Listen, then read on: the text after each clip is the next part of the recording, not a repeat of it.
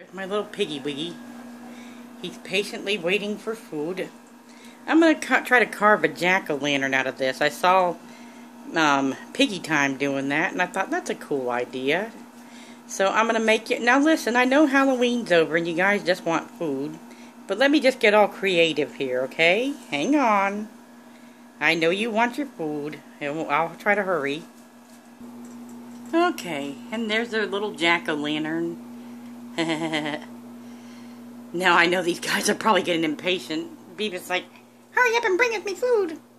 I don't care about jack-o'-lantern. But Beavis, this is going to be a tasty treat. Hmm. This is a really cool idea. Thank you, It's Pigs, for doing a video on this.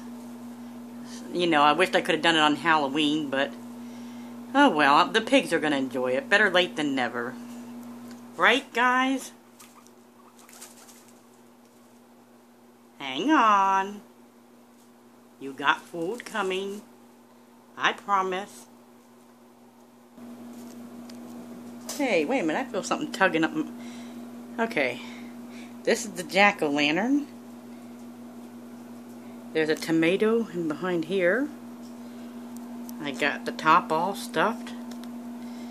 Not that my pigs would be totally impressed, but I think this is cool, and I'm glad I saw this idea. I wished I could have done this for Halloween, but anyhow, let's see how the pigs like it.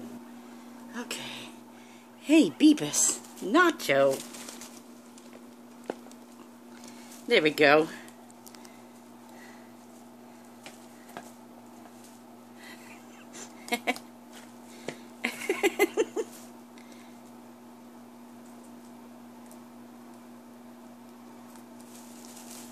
Uh-oh.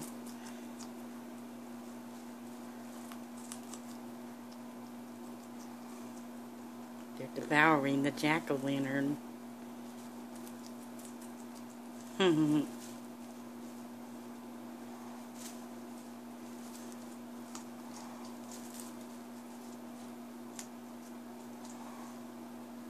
You're making me do extra work for this food, you know.